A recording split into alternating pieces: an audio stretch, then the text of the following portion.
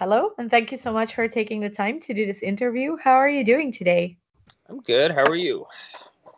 I'm okay too. A couple of days ago, you released the first volume of your uh, double album, Dealing with Demons. Uh, how has everything been with the release and the reactions and all sorts of stuff? It's been great, overwhelmingly positive.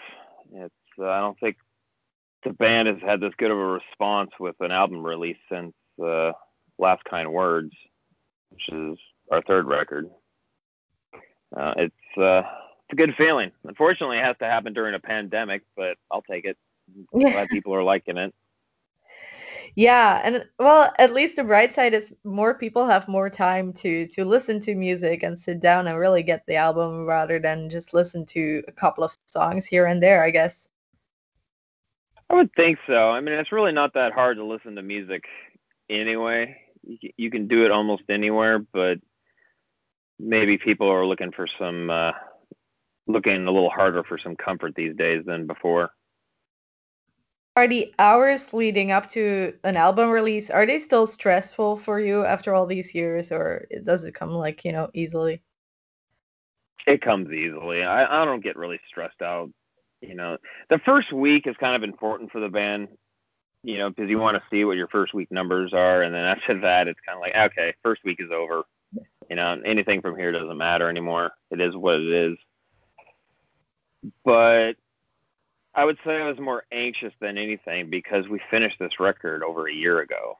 And, you know, we did, I finished up with all my parts on the record. And, you know, there was a six month gap between finishing up the, the musical parts or the instrumentation until Dez did vocals. So the record actually is a bit old for us at this point already. You know, we've been listening to it I mean, I stopped listening to it for a few months, but you know, leading up to the release, I started listening to it again just to kind of get myself excited about it. But you know, it's it's a little foreign to me already. Yeah. yeah. I mean, are you more excited now about it again, or still kind of meh? I'm I'm more excited just because of the response that we've we've been getting. You know, I've you know, I've even had some old band members call me up and be like, dude, this album is fucking awesome.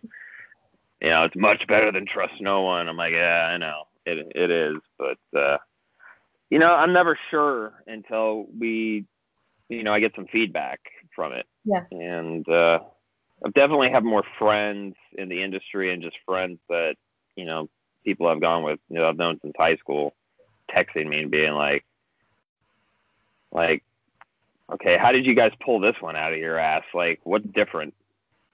I'm like, I don't know, but it was it was a fun record to make. Maybe that's why. You know, it's just we had a lot of fun making it, and I think it shows.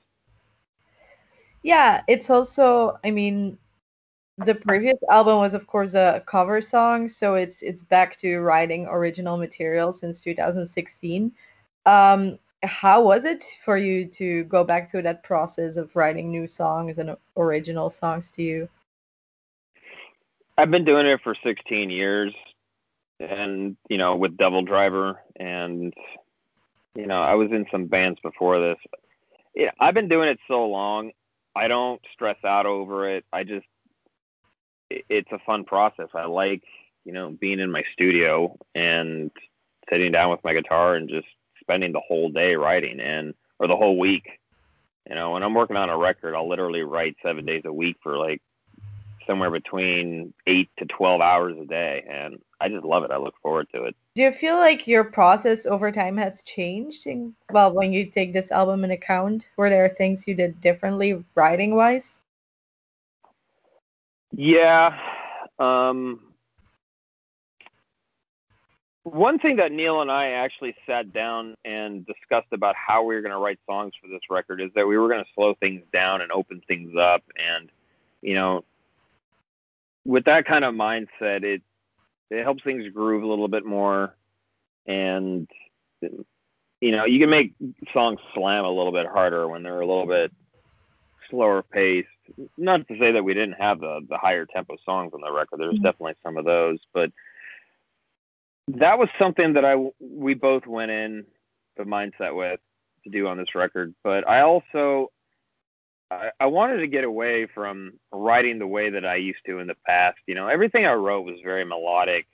It wasn't very dissonant, and dissonance is one thing that I've really been embracing a lot with rhythms as well as my any kind of lead or solo work and just kind of making things sound more ugly and more dark and like it, it just more ugly than dark. I think all the stuff I write is fairly dark sounding anyway, but um uh, just embracing things that I had never really embraced before that I wish I would have started doing sooner. Is that something for the future that you were also planning to experiment more with, for instance? Yeah, and I'm going to take it even a step further when we start working on the next record because I feel like we're at we're at a point in our career where we've released an overwhelming amount of material at this point, and with the you know now that we've released the song like "Wishing" that with Dez singing clean vocals, and I have a lot of people telling me that's their favorite song on the record. That it's like, oh, okay, you know, we we can start experimenting now. I'm not saying that I'm going to go write a whole song for Dez to sing clean vocals over, but I'm going to start adding things that I normally wouldn't have in the past because um, now Dez has kind of proven to everyone that he doesn't have limitations on what he can do. And I'm definitely going to push him even further down that road on the next record, you know, and write something that's like, well, what do you want me to do with this? It's like, well, look what you did with Wishing. Go figure it out. Are there things that you would like to try maybe someday that you haven't tried before in your kind of music? Uh, basically, you know, I'm a big industrial fan and a big goth fan. Now, Dez isn't so much into industrial, but he is really into goth, and I'd like to start throwing some of those influences in to our music. Not a lot. I mean, it'll still be Devil Driver. We're never going to be considered a goth or an industrial band. But if you, you know, I've gone back and listened to stuff that I've written for the band in the past. I'm like, oh, well, that sounds like Sisters of Mercy, and I'm like, well, it kind of makes sense because they're one of my favorite bands. And I didn't even know when I was writing it, but looking back on it years later, you know, I see that influence in my own writing, and I'm gonna whatever we re-release, it's gonna be heavy and it's gonna be considered metal. But I'm gonna try to go in with the mindset of, you know, don't write metal all the time. You know, like when when the riff comes together as a whole and we get together with the band and everything like that, we're gonna figure out how to make it heavy. But try to think outside the box a little bit more than I have. Mm-hmm. So you mentioned the song "Wishing," uh, which has Dez a clean vocals, of course. Um, but because of an another interview that I watched, I understood that um, the clean vocals came about with uh, your producer Steve Evetts. Uh, I was wondering if there are some other elements in the production that you were specifically excited about next to those clean vocals the way we did guitar rhythm guitars on this record is much different than we ever have in the past. Steve wanted, you know, we always record a rhythm on the left and a rhythm on the right. And you know, sometimes we do one on each side, sometimes we'll do one on each side with one in the middle, and we've done records where we have two on each side. And I'm not a big fan of doing it with two on each side. I, I like doing one on each side. I just like the way it sounds better now but in in 10 years i'll probably change my mind and go back to four. Who knows? Uh, i am like that. But he wanted neil on one side and me on the other and we've never done that before because neil gets a lot more low end bass out of the way he plays the guitar and i have a little bit more bite and high end in my playing. So he insisted on me and neil you know learning all the songs and playing on all the songs. And so whenever you're listening to this record, it's me on one side, it's Neil on the other. And we also used a completely different configuration for each side. So he was playing through a completely different guitar with a completely different overdrive pedal into a different amp and sometimes even a different speaker cabinet. And we've that's something that we've never done before. You know, we got our rhythm tone, we put it on each side from the same amp and pretty much the same configuration on every song. And I think Steve wanted to do it that way because it was going to be a double record and I think he knew going into it that it's like, okay, we're gonna have to break up the monotony of these songs uh, more than usual because there's so much material. And like I said, we had never done that before, and I think it was a fantastic mm-hmm. idea. I think the, this is one of the best sounding records we've ever put out, you know, from a production standpoint. Yeah, definitely. Yeah, it's actually interesting that the the like the reason that it's um it's a double album was taken into account while doing the production. I didn't really. Uh, it was taken into account before we even wrote a single note. Okay. It was like, you guys want to do this double record? I'm like, yeah, sure, okay, let's do a double record because, you know, you can't go into a with a producer and you know say we're doing a record and then all of a sudden hit them and say we got to do a double record. You know, it's like there's you know, there's contracts, there's scheduling, and all that stuff. So it's like, you know, we had to prepare Steve Evetts for this, and you know he he told me at the end of it that he'll probably never do a double record ever again. Like this will be he had never done it before, and he's like, I don't know if I will ever do it again because he had to work harder on this record than anybody because once it's all said and done, you know, he's got to go mix it, and that's literally another month of work for the you know for the producer to to do it. And uh, mostly me, him, and our other guitar player Neil spent the most time in the studio together because you know there's so many different layers of guitars going on. It takes us the longest amount of time. So I mean, we spent so much time in the studio together it was just like it it just sometimes it felt like it was never going to end, but but in the long run, it was fun. I had a good time, and I'd totally go. I'd do it again. Mm-hmm. Yeah, what I also really liked about the album is that there's certain like motives subtly returning throughout the you know throughout the whole songs, and also phrases like dealing with demons in the lyrics, for instance. Um, were these things things you added on later, or was that something that you incorporated already when you laid out the tracks in the beginning? Uh, well, first of all, I don't have anything to do with um, the whole vocal situation when it comes to recording. You know, we were done with all the instrumentation six months before Dez even started doing vocals. And he does that, you know, with just the producer down at his house. And I'm sure he wouldn't mind if I came by, but he lives two hours away. And um, I think I was busy working on the, uh, the Wednesday 13 record at the time. But, um, you know, it was as far as the layout of like the tracks on volume one and two, that wasn't decided until after the recording was done. You know, we we did all the songs, we had a look at what we had, and then I think Neil came up with the uh, the first track listing and sent it to me. I was like, cool. Sent it to Dez, and I think the record label and Dez might have changed it a little bit here and there, and that was it. Like, all right, these songs are going on volume one. These songs are going on volume two actually sounds pretty easier than I would have imagined. Yeah, it was. Um, it might have been harder. Uh, it might harder for Neil because he's the one that came up with the original track listing. But um, I try to take myself out of those equations now. You know, I've learned over the years that I'm not the best person to ask what should be released first because I personally have um, you know, certain songs are more important to me than others.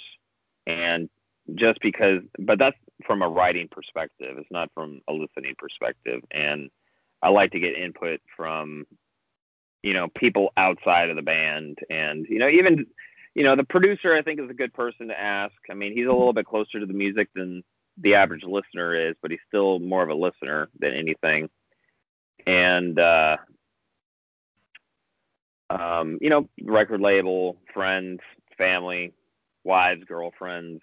You know, I think those are people, good people to ask after you play the record for them, and you know, kind of see what songs stand out mm-hmm. amongst a group of people, rather than me saying this song should be the first one released. But because yeah. it's usually going to be a song that I, that I wrote, and I know that, so I'm like, I have a biased opinion, and I should be taken out of the equation.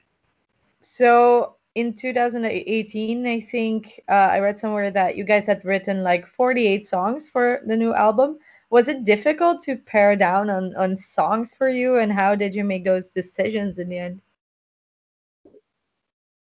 it was it wasn't difficult you know neil had he had a lot more material written for this record before i did you know he got a big head start on it i was busy doing the wednesday 13 record i had some other projects going on and he probably had 20 songs written before i even wrote one you know, he was throwing all these songs into a Dropbox folder that we created for demos, and I, you know, I'm going through and I'm just like, Jesus Christ, man, I got to hurry up and start writing. You know, if I if I want any of my own material on this record.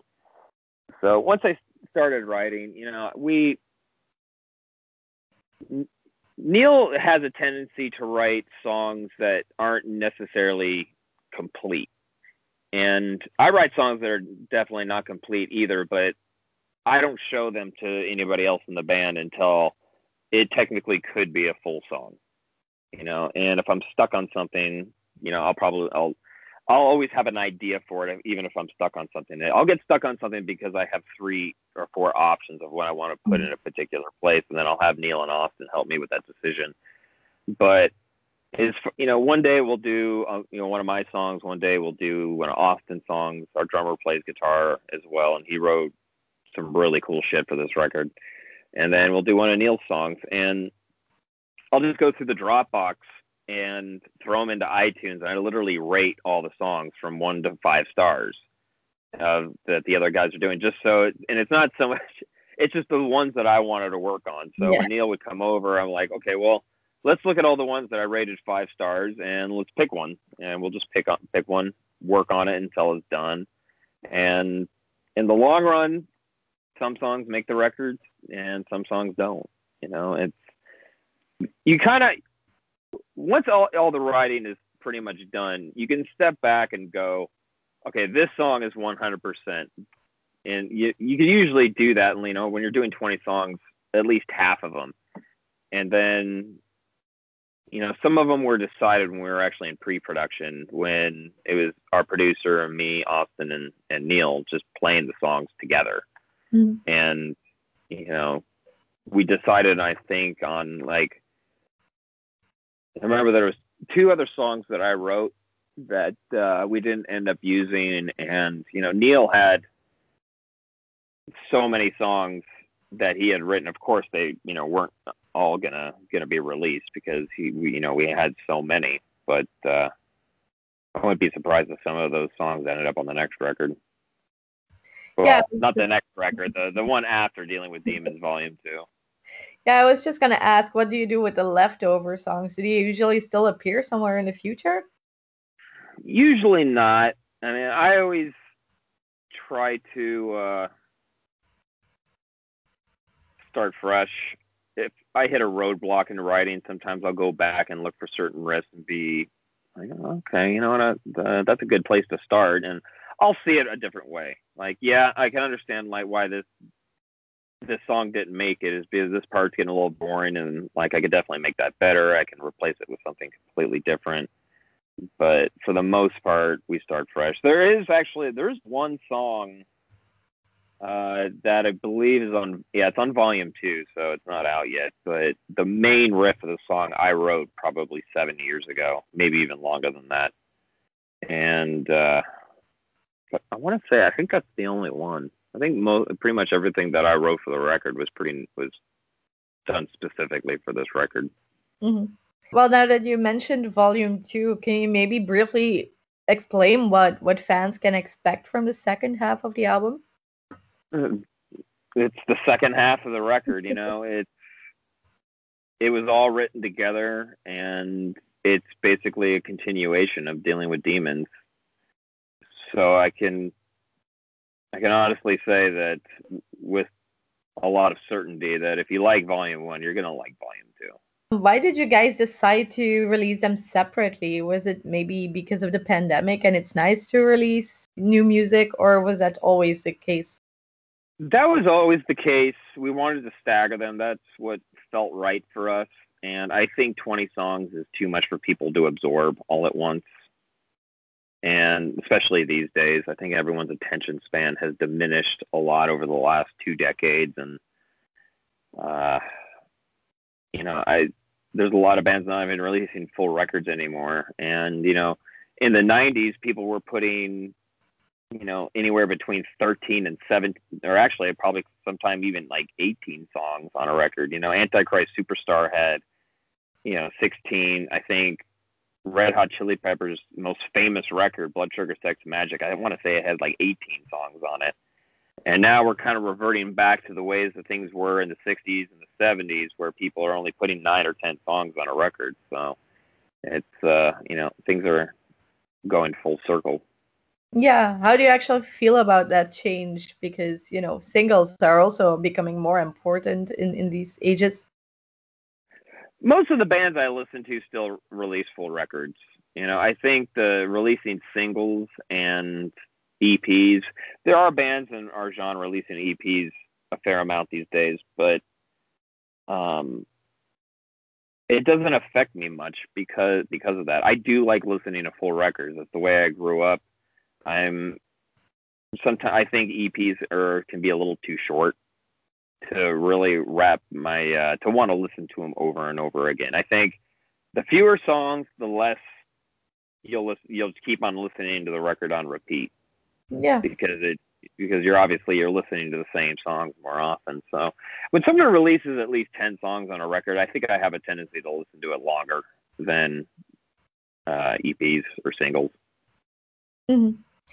Um, now, um, I recently watched uh, the lyric video for "Keep Away from Me." Obviously, this song is not. I guess it's not really about COVID nineteen, but it's more about agoraphobia. But I was wondering whose idea it was to kind of tie up the both themes, events, or whatever together? And how did you basically come up with the concept of the video? I'm sure it was Dez and our director Vicente.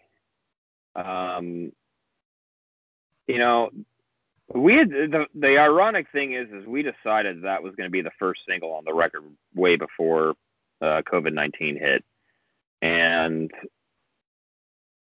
yeah, it was just a very weird coincidence that we, you know, this whole social distancing thing went into effect, and then we have a song that we're about to release called "Keep Away from Me," and yeah, I was well, okay, that's kind of weird, but it, it, kind of works for the time. So we made a video that revolves around what's going on, and um, it it it it, it kind of ties two things together in a way. It ties the agoraphobia aspect of things as well as COVID 19, which, you know, now are very related because it seems like the whole world in one way or another, not everybody, obviously, but a lot of people are, I think they're going to be a little traumatized for the rest of their life after uh, being so secluded for such a long time. Mm yeah in this record you're you're talking about a lot of mental health issues and and you know demons basically um, but is it important for you guys to make music that people can basically relate to I think it is important for a band's success to have people relate to their music, obviously, but that's not. I don't think we don't write music purposely to uh, make other people happy. You know, we got to make ourselves happy first and hope that translates to uh, the the the metal community. And if you're writing music for someone else, you know, it, which is fine. you know, I've had people approach me and can you like, can you write a song like this? And you know, I'll pay you X amount and be like, yeah, sure, I'll do it. But I would never write for Devil Driver that way. That's way too mm-hmm. personal. And you know, you you just got to be honest with yourself and hope that it translates to other people. And I think that's what makes you know a a successful band sex, successful. I mean, obviously there are people out there that are musical puppets and which is fine. You know, if you just want to be a performer and you got other people writing your music. You know, Elvis Presley never wrote a single song, but he's a total badass. Mm-hmm. And I think you know it's fine, but that's not how we do it with Devil Driver. You know, we always write our own music and um, write it the way that we want. And yeah. you know, the song "Wishing" is is a good example of that. It's not what people expected. I don't think it's even what people were asking from us. Even if we went out and did a national survey of what Devil Driver fans want and we threw the idea of clean vocals in there, I'm sure the response would be overwhelmingly no. But you know, we're like, tough shit. You're going to get this anyway. We hope you like it. And it ended up working for the better for us, you know, and most people do really like that song. I, I, you know, I was surprised when I heard it. I didn't know he was going to do clean vocals on it. I wasn't there. And when I got it, you know, Dez was a little nervous about releasing it. And I'm like, dude, trust me, don't touch a thing. It's good. And I thought I told him I think it's so good. It should be one of the like the third of the fourth single off the record. Mm-hmm. Yeah, and I think you you guys definitely have like open-minded fans because uh, from that song, every comment that I read at least was super positive as well. So yeah, we did something right there. Yeah.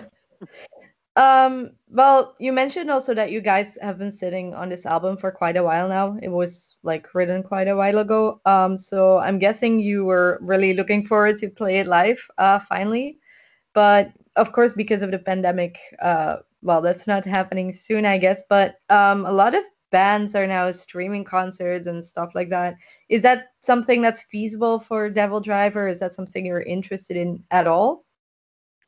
I'd be interested in doing it if we did it correctly with a lot of production and made it super cool. I haven't sat down to watch the one that Behemoth did, but I've heard some really good things about it. And I know that Behemoth, when they they only do things well you know, I've toured with them and I've seen them live, and I was really impressed the first time I saw them. And um, if we could do it equally as cool, I'd be up for doing it. But if we can't make it something super special, then I don't want to. Okay. But as of now, we don't have any plans to do it. We've yeah. talked about it, obviously, and thrown the idea out there, but as of now, there's no plan to, to do any kind of streaming show yet. Yeah, I guess it also depends how the situation is going to go further yeah, and I'm kind of wondering if we're starting to get to the point where people are already starting to get sick of watching streaming shows, you know, because I don't think they're going to last. You know, I don't, I don't think it's. I think it's a temporary fix during yeah. a bad situation. Anyhow, we've been talking for about half an hour, so and most of my questions are, are like uh, gone. Um, do you have any last thoughts you want to share with people watching this video? you know, I tell people, you know, try to find some com- comfort in the fact that we don't really have a choice, but other than to go through this, and uh, we'll get back to touring as soon as we can. And you know, I'm uh, looking forward to getting out there again whenever we can play a show again. It's going to be, it's going to be a bit bizarre, but I think it'll be a lot of fun, more fun than any show we've done in a long time.